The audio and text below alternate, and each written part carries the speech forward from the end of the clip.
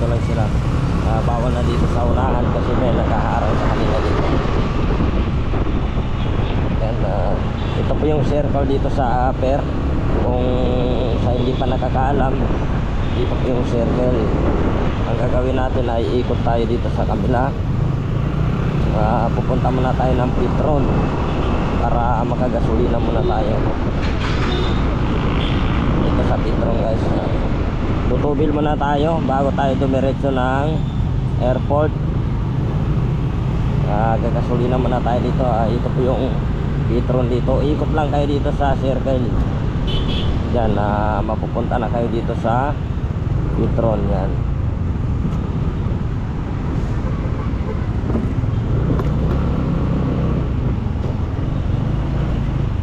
Dito na.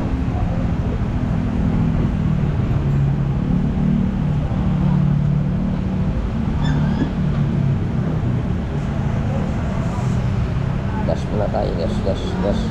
Ah, gagas tayo ng dalawang daan. Unleaded.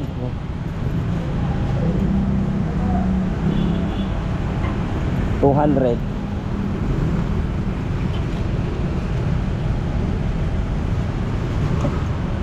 Pero share to agad siya lang. Mm. May Petron card ka sa Wala. Okay lang. Gusto niyo mag-avail? Next time naman Max, eh, ah, may anin pa ako sa airport. ah, konting oras Sige. sa next time. May bayad ba yun mga pala? 50. At yun dyan pa lang. Okay, sa ano na lang. Sige sir, thank Ah, you. okay. May, Okay na? susunduin mo na ako sa airport. Yan na. Nakatogil na tayo. Ah. Nagapila si ma'am na ah, card sa Petron. Ah, wala pa tayong card sa Petron. Ah, yung una kong card dito ay hindi ko na upgrade. Pero sa next time papunta natin dito, kukuha tayo ng card para yung points, para hindi sayang. Pagtutugil tayo ng marami. Ah, hindi sayang ang points natin. Uh, baka may paggagamitan tayo. nun. Okay guys, ah tuloy na tayo. Ah, nakabalik tayo dito. Tuloy na tayo na papunta ng airport. Yan, ito na yung daanan natin guys. Ah, may ano pa sa likod natin, ah ambulance.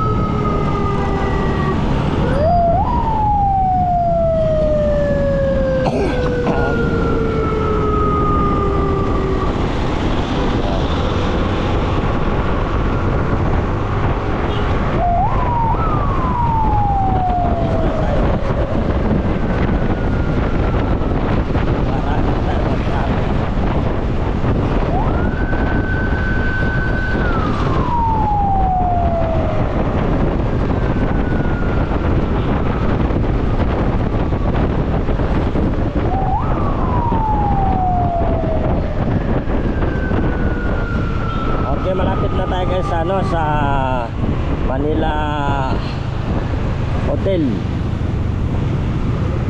Dito tayo sa Hotel sa ah, ano na tayo sa Per 15 na na. Ito na yung Per 15. Ah, medyo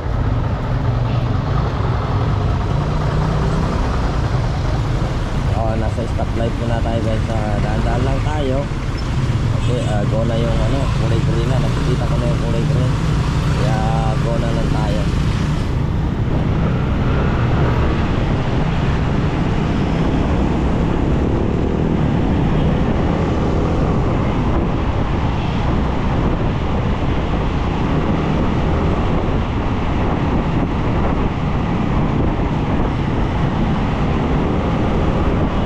Go na. Ah, pag ah, kulay ano pa to? Hindi pa nagkulay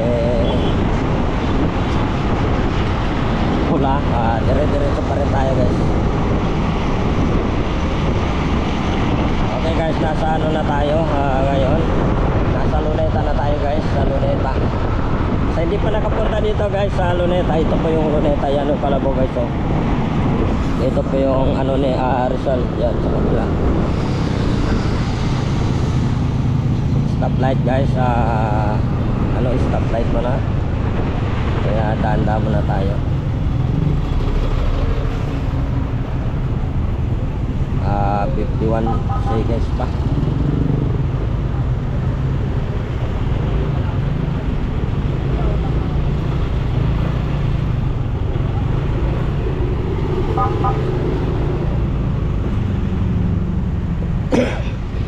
Po.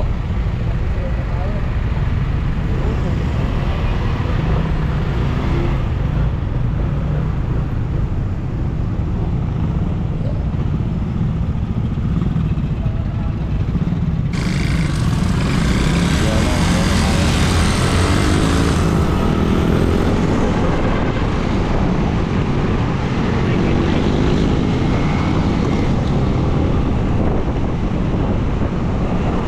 Ah, hindi ko alam guys ko ano dito yung tapos pa yun dito sa ano ng embassy. Parang hindi pa yata tapos kaya medyo mabagal pa lang dahil natin ano dito takbo ng ano natin. Kung hindi pa tapos ito, medyo mabagal pa yung daloy ng ano ah, takbo natin dahil po ah, matraffic. Pero ah, para pwede na dadaanan sa kabila dito po ano ng embassy.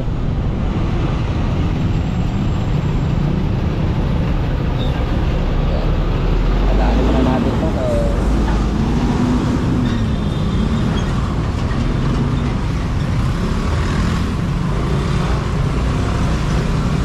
Yan, ah, dito naman sa kabila yung kanilang ginagawa itong na nakaraan.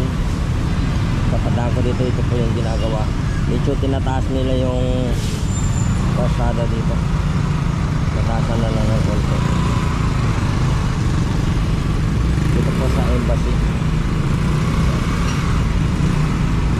Malapit tayo sa ano guys, sa.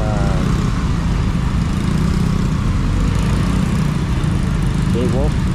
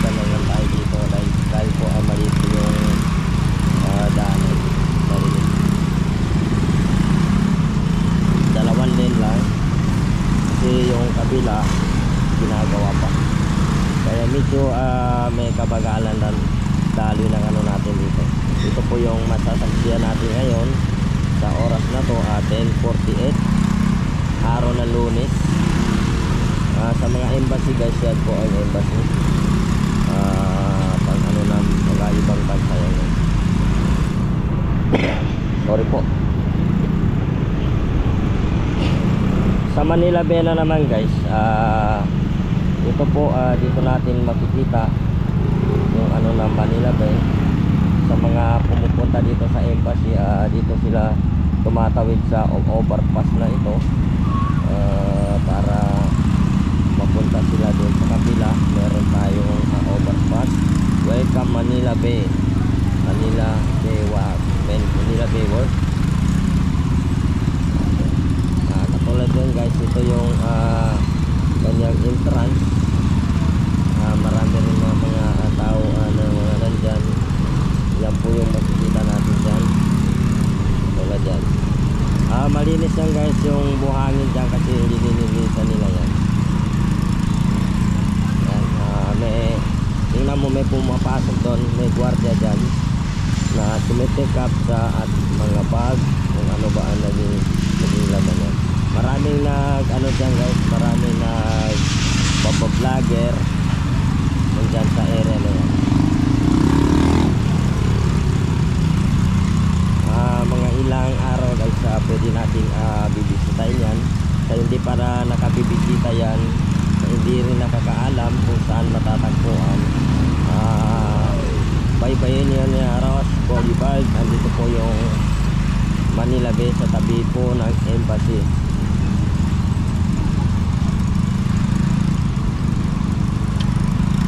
ito po yung Mandamos Ayan, ah, hindi lang bumibilis ang dalo ng ano natin guys sa takbo. Dahil ito po ah, kung mapapansin dito sa kabila ah, pinapatuyo na lang yan. Pero nabubuhusan na nila. Yan sa isang uh, hilera na.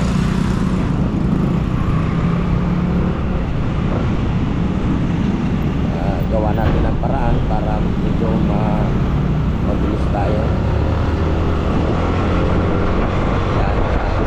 Medyo maluwag na dito guys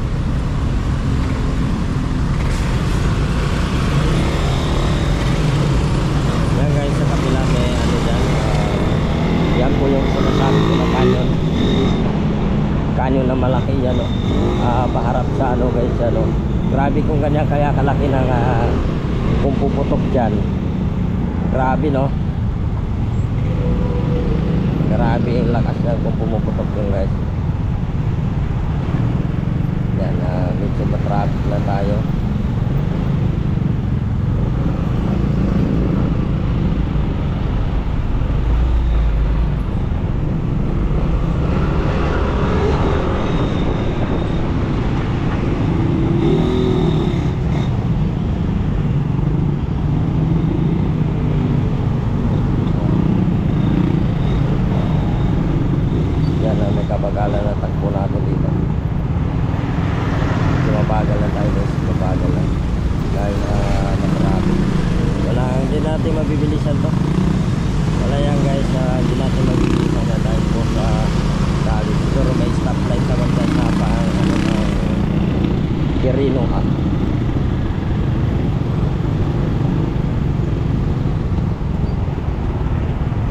sakto pa naman ang dating ng aeroplano na susunduin natin doon dahil ang oras natin ay 10.53 ah pagdating natin dyan medyo mabilis-bilis na yan ito lang po yung medyo masikip pag abot yan sa stoplight na yan medyo ano na tayo dyan lamang may mabilis-bilis na tayo dyan dito lang sa area na ito kasi yung kabila hindi pa tapos kaya may ah, kabagalan na tayo. Ah, shout out po sa mga kapapanood dito.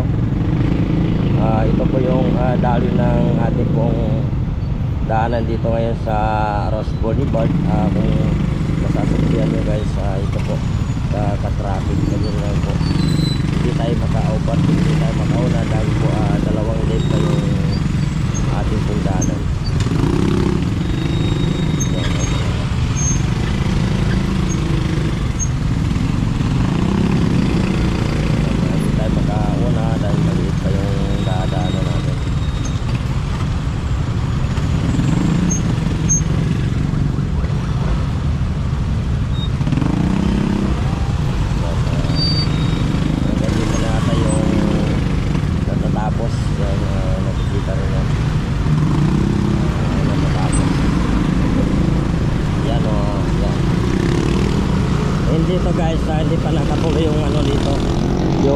ada atau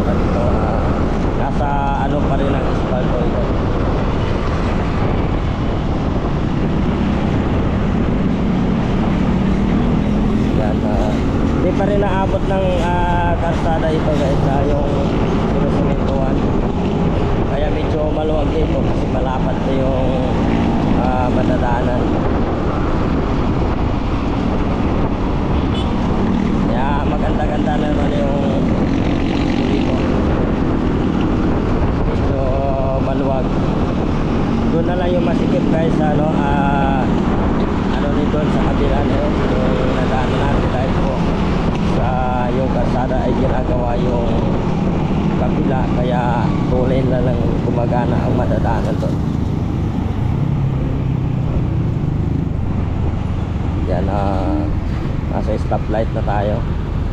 Pag labas natin dito guys sa dire-diretso na rin tayo.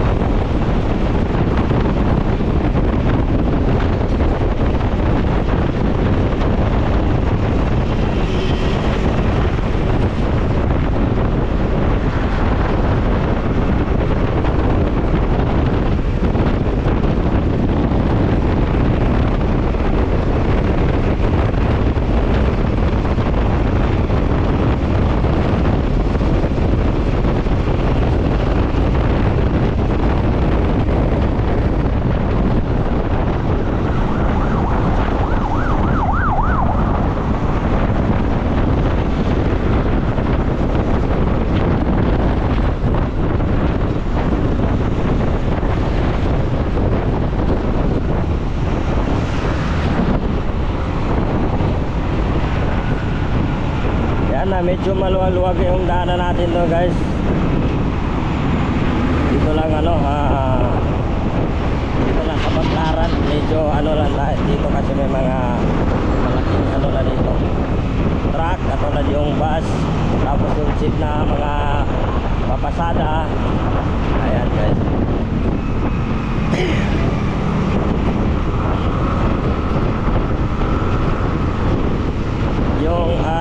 motor natin guys. Uh, pag uh, yung takbo niya okay na okay pa.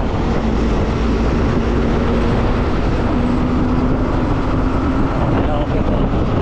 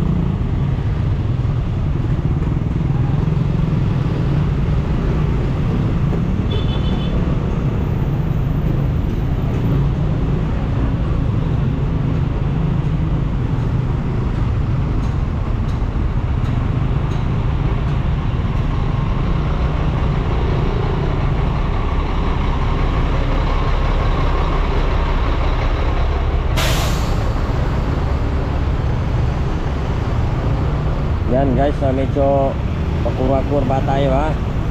Dahil ah, maano lang dito. Medyo maliliit lang yung madadaanan natin dito. Ay ah, nasa stoplight tayo. Pero kahit papaano nakakalapit tayo dito sa ano.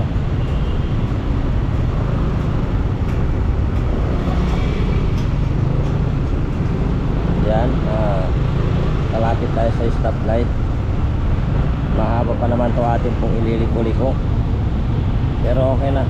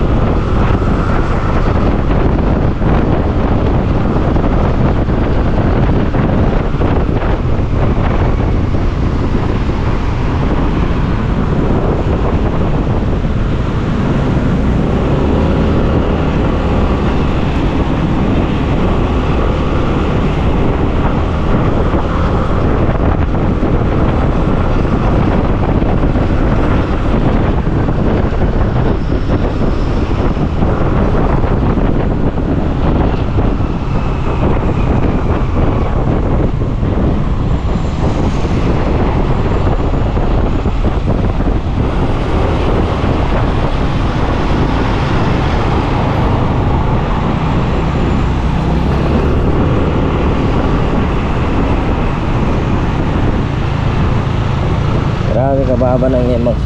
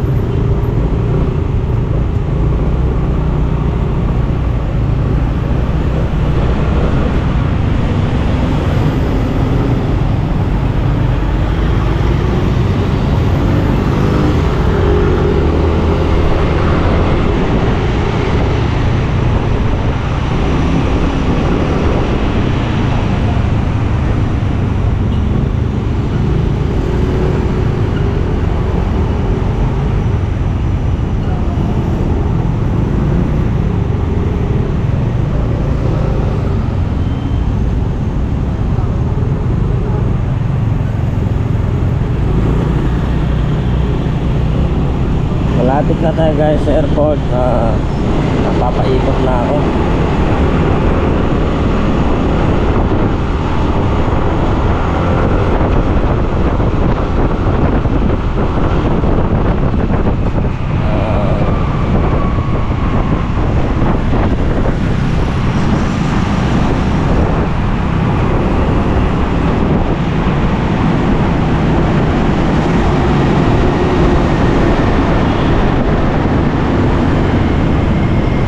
siguro makapaghintay ako na sa saglit dyan sa ano.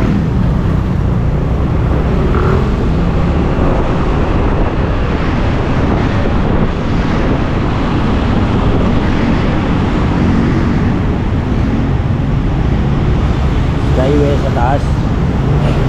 Skyway 12 kilometer.